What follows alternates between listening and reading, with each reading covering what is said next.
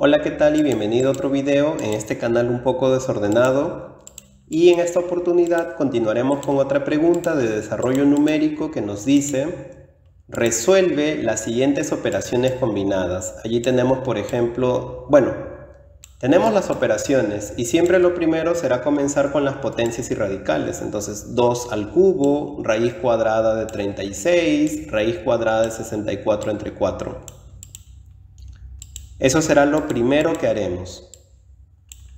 Bien, vamos a comenzar entonces con estas operaciones. Sería 16 más 2 al cubo, sabemos que es 8, menos 3 por raíz cuadrada de 36 es 6, más 64 entre 4 es 16. Raíz cuadrada de 16 es 4. Bien, ya no tenemos más potencias ni radicales. Lo siguiente será resolver este, esta multiplicación o producto. 3 por 6 sabemos que es 18. Ahora, como solamente nos quedan sumas y restas, vamos desde la izquierda hacia la derecha. 16 más 8, ¿cuánto es? Es 24. 24 menos 18, ¿cuánto será?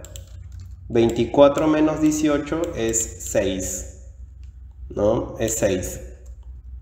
Y finalmente 6 más 4, ¿cuánto será? 6 más 4 sabemos que es 10. Y esa sería nuestra respuesta final.